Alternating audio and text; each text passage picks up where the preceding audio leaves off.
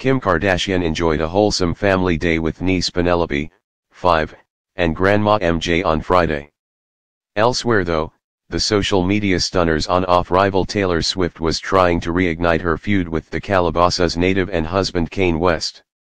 Last night the 27-year-old songwriter dropped her new single Look What You Made Me Do, with a source telling TMZ the revenge-fueled song is definitely about the Kardashian Wests. Kim appeared to take the high road on Friday, as she shared a sweet snap of three generations of her family together. The mother of two puckered up to niece Penelope, who is Kourtney's daughter, while they sported Snapchat's flower crown filter. Grandma MJ also got the selfish treatment as she cuddled close to her superstar granddaughter and smiled for the camera.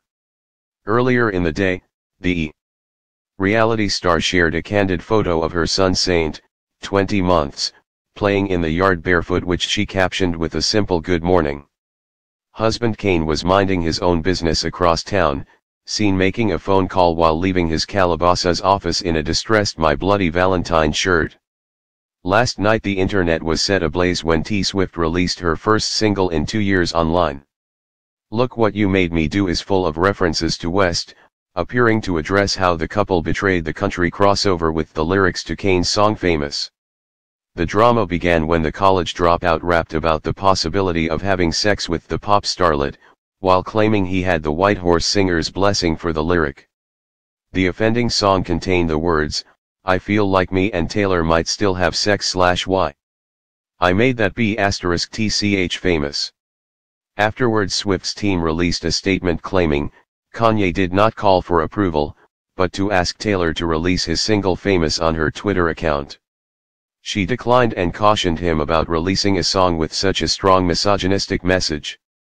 Taylor was never made aware of the actual lyric, I made that BCH famous. But months later wife Kim brought out the receipts, sharing video of the conversation which offered damning proof that Swift was well aware of his intention to refer to her in a track on his latest album, The Life of Pablo.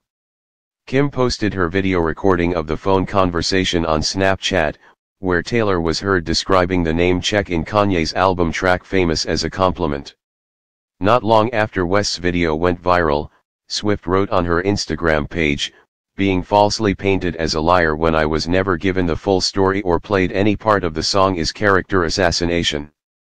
I would very much like to be excluded from this narrative, one that I have never asked to be a part of, since 2009. The ex of Harry Styles and Calvin Harris is attempting to get the last word with her single and forthcoming album, titled Reputation. Right now Taylor's Instagram features several tantalizing snippets from the song's yet to be released music video, where she plays femme fatale in dramatic makeup and layers of serpent-inspired jewelry. The video for Look What You Made Me Do is set to debut Sunday night during MTV's Video Music Awards.